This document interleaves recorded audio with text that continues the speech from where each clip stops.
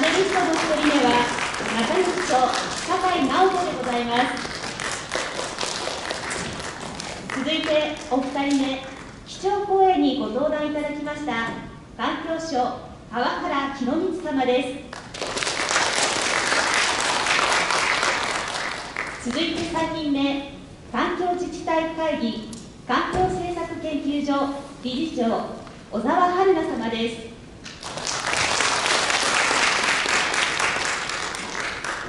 続いて4人目東京家政大学家政学部環境教育学科3年生の生駒春野様です。最後に基調講演直後でございますが咲田優子様にモデレーターをお務めいただきパネルディスカッションの進行を委ねたいと思います。それでは咲田様よろしくお願いいたします。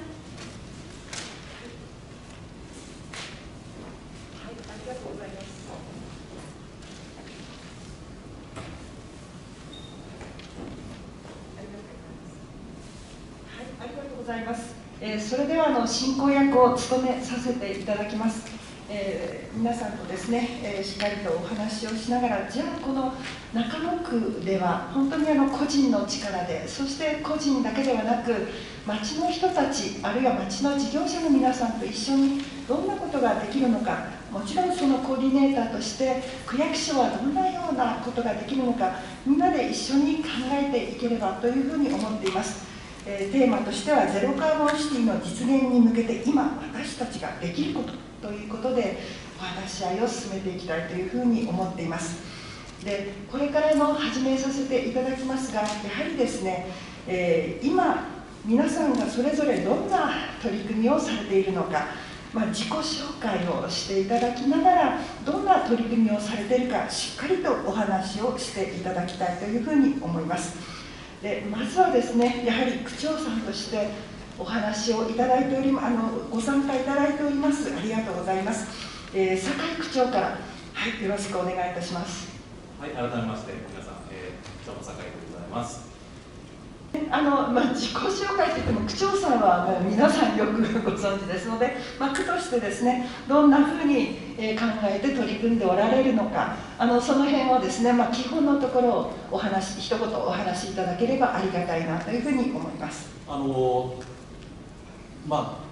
目標を定めてですね、まあ、それに対して各、まあ、今自治体も含めて、えー、取り組んでいこうということなんですけれども、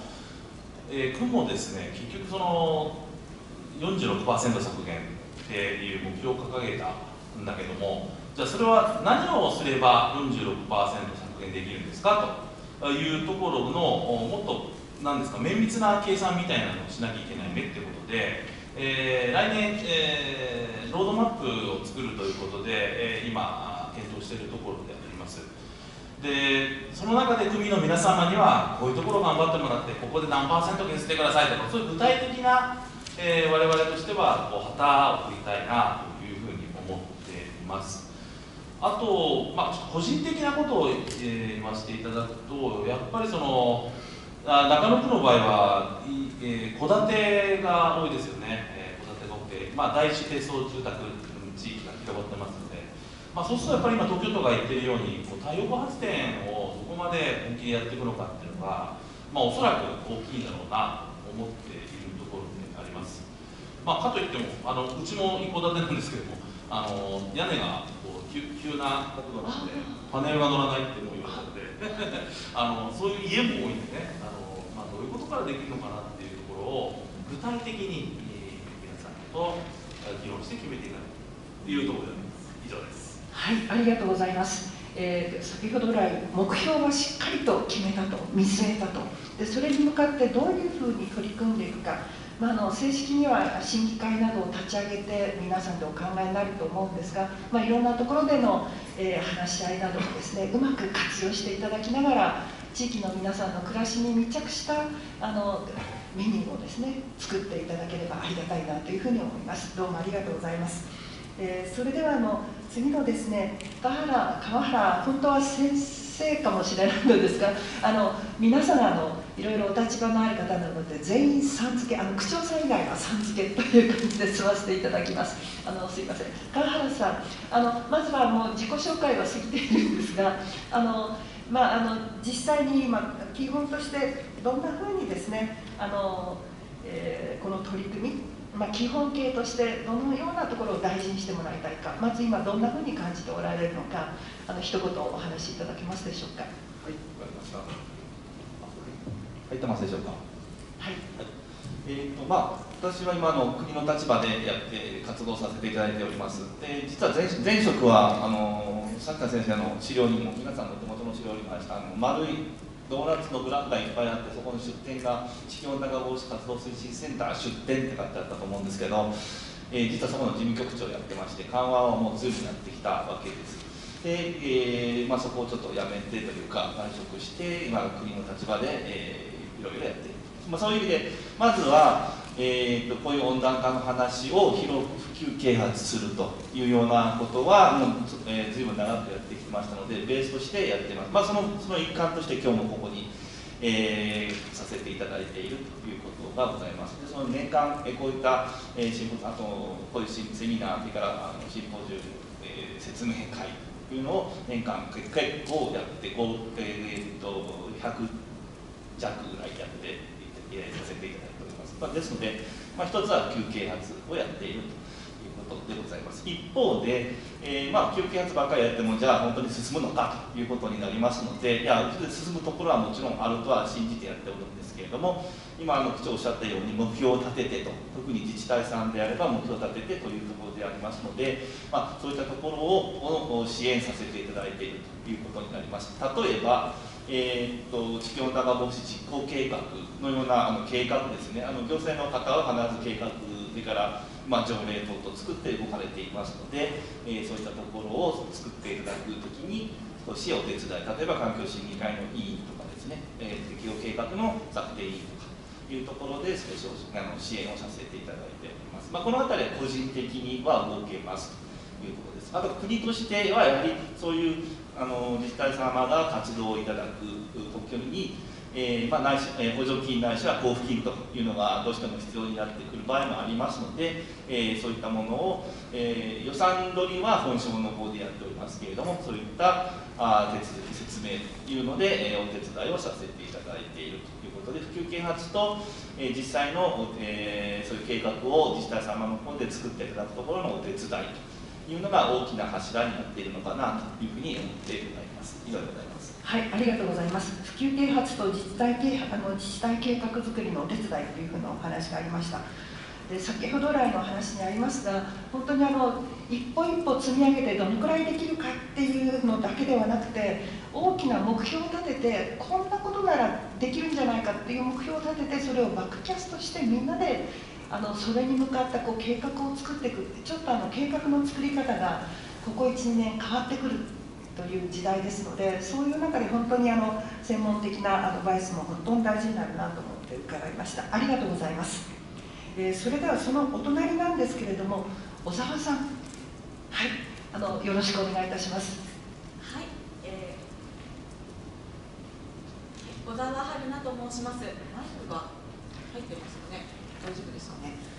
えーと、私の自己紹介を兼ねて活動の中身をお話をさせていただきたいと思いますが今日の配布資料の中に私が作成した自己紹介のペーパーも一部入っておりますのであのお手元にございます方そちらご覧いただきながらお話聞いていただければと思いますけれども私肩書きが実はいくつかございますがメンバーえー、環境自治体会議環境政策研究所という小さい NPO 法人で、えー、環境のコンサルをやってます。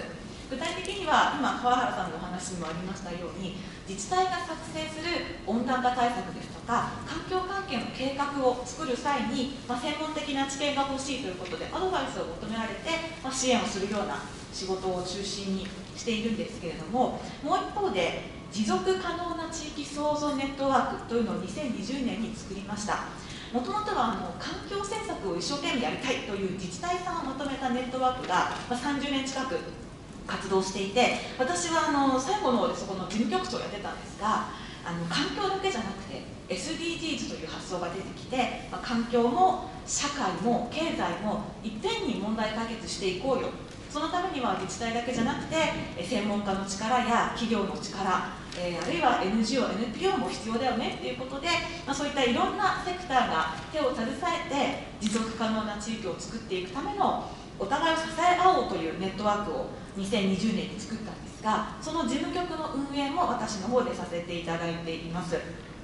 で、まあ、日頃の仕事としては、まあ、自治体さんから依頼を受けて、まあ、中野区さんのような形でゼロカーボンを目指した計画を作る、え、仕事を動かしていくところへのアドバイスもやっていますし、えーま、そういった関連で市民の方に対して、えー、こう温暖化の話とかゼロカーボンの話をしてくれということで、えー、川原さんほど数は全然多くないんですけれどもちょこちょこお話をさせていただいたりという機会もございます。中野区さんではあの環境審議会のメンバーに入れさせていただいていましてあの中野区の環境審議会非常に熱心であの他の自治体さんの審議会もいくつか出てるんですけどもあのここまで議論が白熱して2時間の会議あっという間というところはございません。非常にポテンシャルが高い地域だなと思っています。でえーとまあ、具体的な活動の一つとして、えー、ゼロカーボンの地域を目指す自治体の支援ということをしておりますので後ほどその中であの感じていることですとか、えー、こんなことが必要なんじゃないかなというのをあの次やその次の次のお題ぐらいで触れさせていただければと思っております自己紹介としてはこんなところで。ああの個人としてはですね一応あの自宅の電気をパネルを置く置ける屋根ではないので再生可能エネルギーをたくさん扱う盛況の電力会社に変えたりとかあのつい最近電気自動あのハイブリッド車に変えたりとかっていうことはあのしているんですが、まあ、生活の中でなるべく負荷をかけないような暮らしというのをあの気をつけて生活をしているところです。まずはこんなところで失礼します。はいありがとうございます。えー、持続可能な自治体の創造ネットワークというなんか非常にあの力強いあの取り組みをされているというふうにあの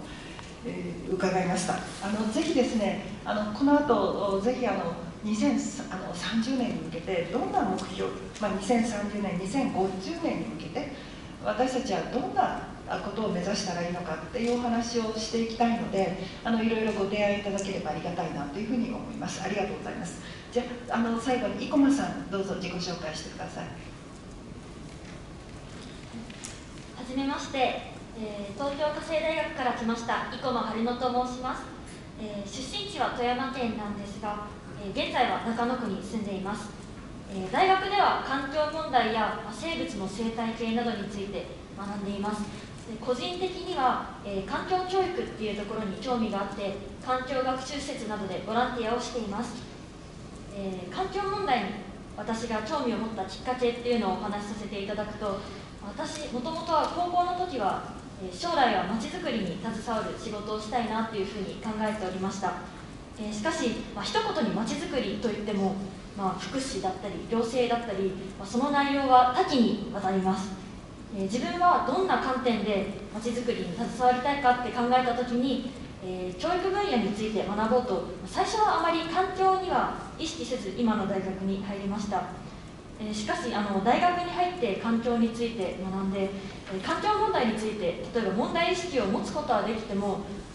自分が例えばマイバッグを持ったりマイボトルを持ったりしてもそれがどのくらい環境に役立っているのかいまいち実感が持てないまま過ごしていました。そんな時にインターンに行った先で環境教育っていったものがあることを知ってそこでのボランティアなどさまざまなことを学んでいくうちに私自身も環境も環境教育について、え関わっていきたいなと思うようになりました、え環境教育っていうワードについてお話しさせていただくと、